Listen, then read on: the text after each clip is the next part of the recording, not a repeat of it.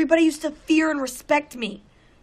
Now they think I'm some sad sack of emotion. You're the meanest person I've ever met. I'm scared to come out of my room most mornings because I don't know what you're going to say to me. Really? Yeah.